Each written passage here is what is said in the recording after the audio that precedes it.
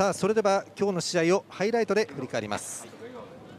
はいじゃあ行きます第1マッチはダブルスです。TT 埼玉は松平健太と篠塚弘人初めてのペアでした。岡山レベッツは森園正孝と町飛鳥今シーズン2試合目のペアです。いかがでした？そうですね、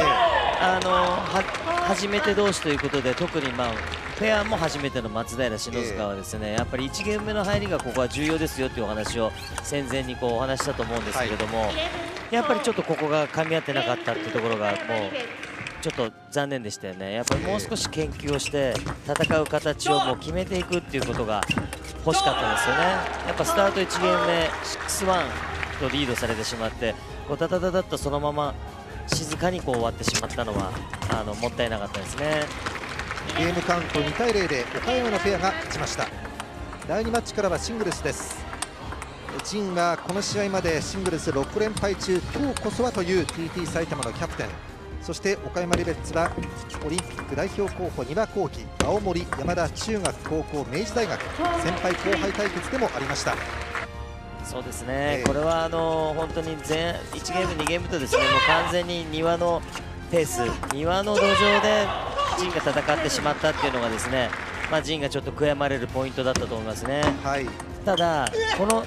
2試合をあの第1ゲーム、第2ゲームを戦って、まあ、第3ゲームリードしてたんですけどもここで庭はチキータをミスした時でもうなずいてるんですよね、えー、ただポーカーフェイスなだけじゃなくてミスした時にもちゃんと自分でうなずいて自分のこうプラスに持ってってる庭本当に良かったなと思いますね、はい、終始庭の土俵で試合が行われました。ゲームカウント3対0で庭が勝利。そして第3マッチはシングルス全日本選手権の準々決勝の再現でした相田対森園い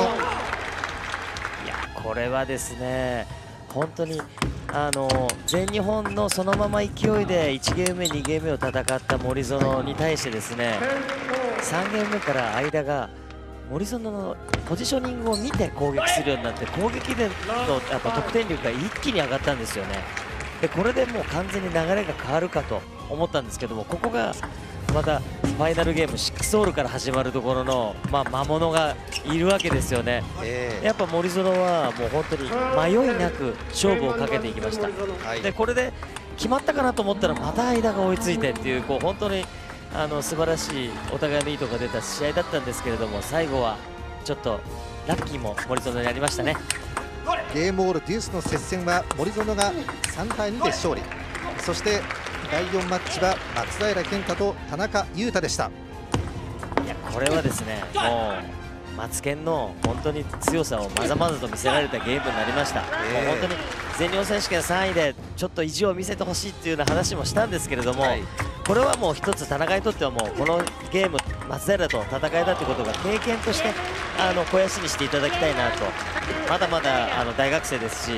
まあ、ここから日本代表を目指していく選手だと思いますのでもう松平の素晴らしい試合を見れてよかったなと。